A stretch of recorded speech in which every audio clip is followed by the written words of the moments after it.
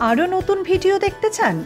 তাহলে অবশ্যই আজই সাবস্ক্রাইব করুন আমাদের ইউটিউব চ্যানেল সংবাদ বিশ্ব বাংলা বিশ্বকাপের মরশুমে অবসর নিলেন বিশ্বকাপের নায়ক। আন্তর্জাতিক ক্রিকেটকে গুড বাই জানালেন ভারতের তারকা ক্রিকেটার যুবরাজ সিং। সোমবার দুপুরে দক্ষিণ মুম্বাইয়ের একটি হোটেলে সাংবাদিকদের মুখোমুখি হয়ে তার অবসরের কথাটি আনুষ্ঠানিকভাবে ঘোষণা করেন জুবি।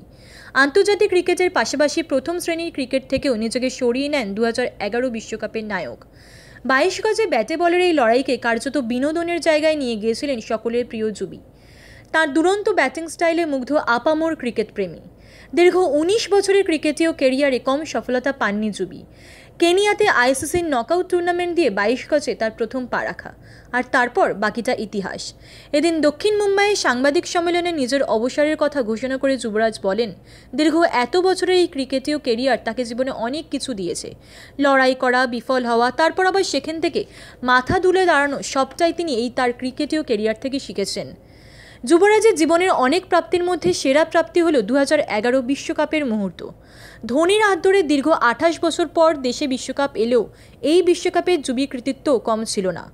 তবে দুরন্ত জুবি মারণ রোগ ক্যান্সার থেকে নিজেকে রক্ষা করতে পারেননি। ক্যান্সারের ঘুনপোকা তাকে ঘিরে ফেলেছিল, কিন্তু তাতেও হার মানেননি এই ক্রিকেট তারকা। মারণ রোগকে জয় করে আবারও বাইশ গজের স্বমহিমায় ফিরে আসেন তিনি। সকলে আবার প্রিয় ভালোবাসার যুবিকে পেয়ে হয়েছিল আপ্লুত।